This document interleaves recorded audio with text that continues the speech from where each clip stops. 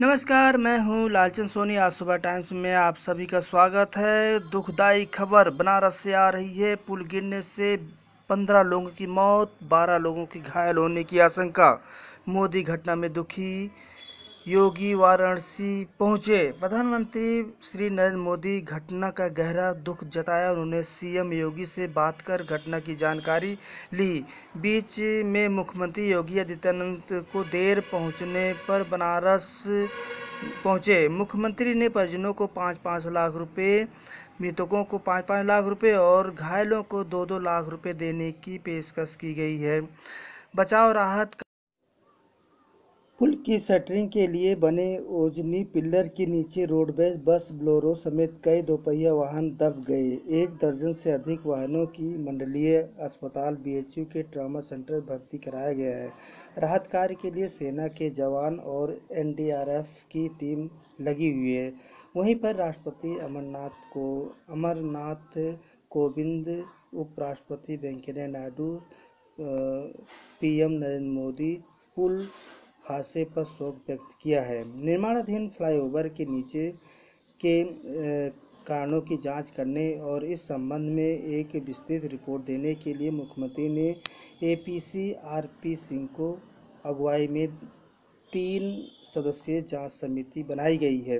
48 घंटे में जाँच रिपोर्ट तलब की गई है। सीएम ने डिप्टी सीएम केशव कुमार मौर्य, स्वास्थ्य मंत्री से सिद्धार्थनाथ सिंह और राज्य मंत्री डॉक्टर नीलकंठ तिवारी को तत्कालीन मौके पर भेजा गया है।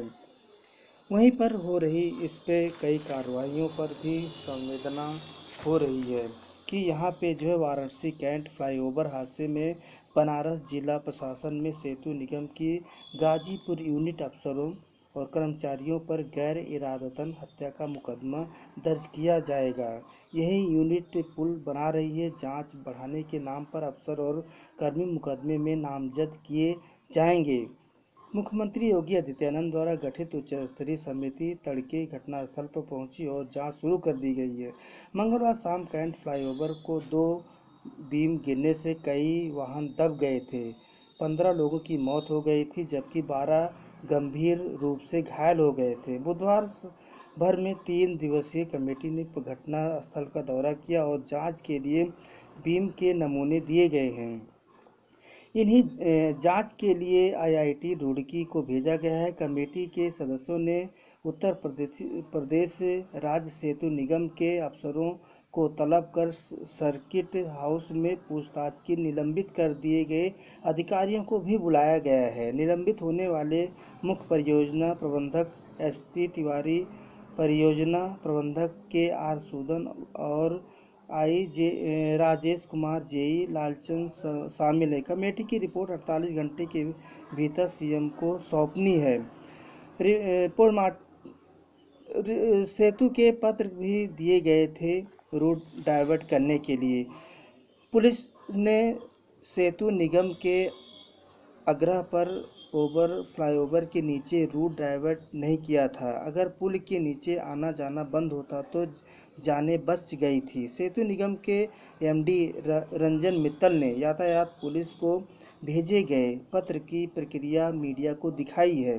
उन्होंने हाल ही में अपने अधिकारियों की लापरवाही भी स्वीकार किया है। मजिस्ट्रेट जाँच की रिपोर्ट सौंपी जा रही है। डीएम रामेश्वर राम मिश्र ने भी श्री मजिस्ट्रेट जाँच के आदेश दिए हैं। एडीएम वित्त एवं राजस्व मनोज राय ने जाँच शुरू कर दी है। उन्हें जाँच रिपोर्ट शुरू गुरुवार तक।